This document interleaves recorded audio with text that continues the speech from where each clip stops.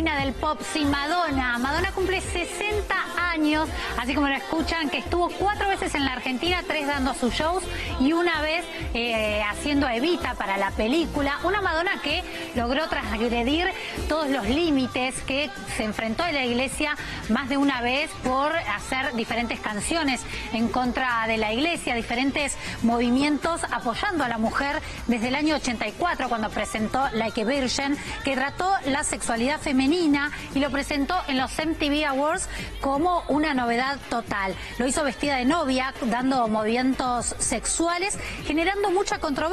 Algunos pedían la censura y otros la aplaudían de pie. Madonna que también en algún momento cuando se enfrentó con la Iglesia Católica fue el mismísimo Juan Pablo II que pidió que no la vayan a ver a la, a la, a la, a la cantante a sus shows.